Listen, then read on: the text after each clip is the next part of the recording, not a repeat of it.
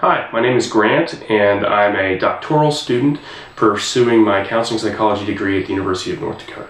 And I'm currently getting ready to attend my predoctoral internship year, which is a requirement for um, clinical and counseling psychology doctoral programs for graduation and licensure. I picked psychology as a major um, because I was very interested in the mechanics of human behavior. Why I decided to eventually get my master's degree and then eventually get my PhD was because I wanted to learn more and I wanted to be able to do more as well. Um, after I got my master's degree, I found that um, I'd reached a ceiling. I was very interested in teaching and writing and um, research as well, and to do that, you really need a PhD.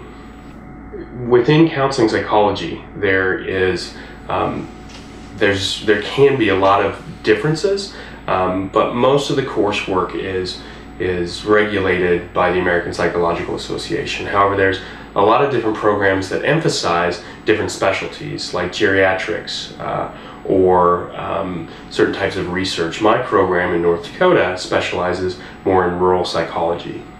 Um, and so I was attracted to that program because of its emphasis on rural psychology, but um, most importantly, um, a big part of uh, doctoral work is working with your uh, doctoral advisor. They're the ones that um, help you with your dissertation, which you can't graduate um, and get your degree and get licensed unless you uh, defend your dissertation effectively.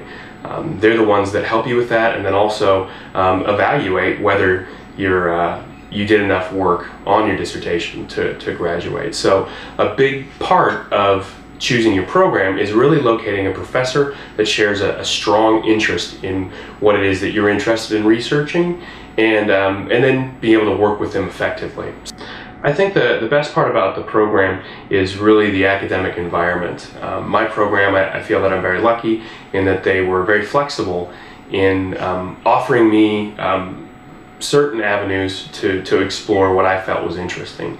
And um, so there's core required classes, but then beyond that, you get to choose some of the, the areas that you want to specialize in or learn more about. And of course, those will also influence where your career takes you as well.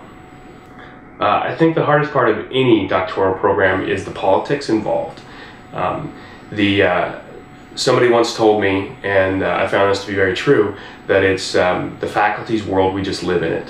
So you really have to remember that when you're progressing and make sure that um, you pay attention to the, the, the culture there and uh, the expectations and you're meeting those.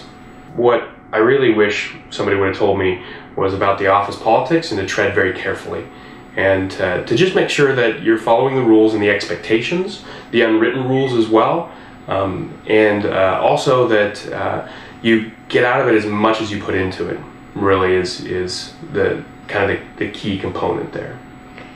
To, to actually get into the programs is very challenging.